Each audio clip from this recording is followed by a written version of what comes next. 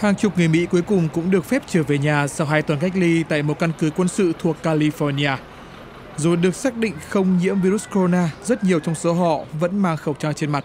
Hồi đầu tháng 2, hơn 160 người Mỹ sau khi được di tản khỏi Vũ Hán, tâm chấn của đợt bùng phát virus corona tại Trung Quốc, đã ngay lập tức được đưa đi cách ly tại căn cứ không quân thủy quân lục chiến Miramar tại San Diego.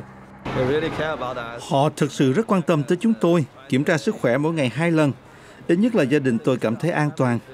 Ở đó có cả sân chơi cho bọn trẻ con. Quá trình cách ly kết thúc hôm 18 tháng 2 sau khi cả 160 người không có dấu hiệu nhiễm virus. Chúng tôi may mắn khi thoát được khỏi Trung Quốc, rất may. Giờ thì tự do, không dính virus, rất ổn. Chúng tôi đã bị cách ly 2 tuần, giờ thì ổn rồi. Có khi giờ chúng tôi còn khá hơn phần lớn những người khác tại thời điểm hiện tại. Trên đường trở lại với tự do, họ được bao ăn trưa và ngay khi tới vi trường, họ được giúp vay tiền nếu không có đủ tiền mua vé về nhà. Những người bị cách ly cho biết khoảng thời gian ở trong trại không phải là quá tệ.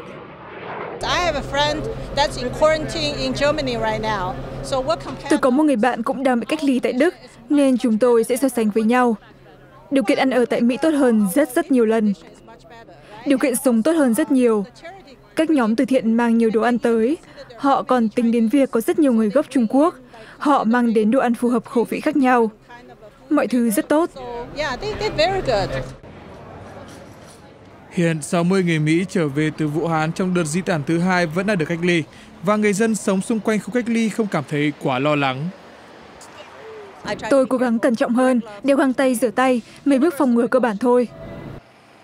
Chính quyền thành phố San Diego vừa công bố tình trạng khẩn cấp gây ra bởi loại virus corona mới này, nhưng đây mới chỉ là bước đi phòng hờ.